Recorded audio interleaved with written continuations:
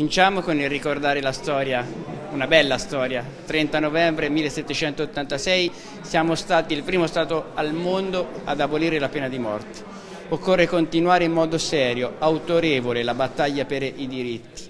contro tutte le forme di odio, anche nei nuovi moderni mezzi di comunicazione, nei social. Occorre fare massa comune per dire stop eh, a tutte queste forme di odio che ancora colpiscono chiunque nella nostra società, lo vediamo tutti i giorni, ma quello che mi sento di dire in particolare oggi è che ancora in un periodo delicato quale quello presente, però vediamo eh,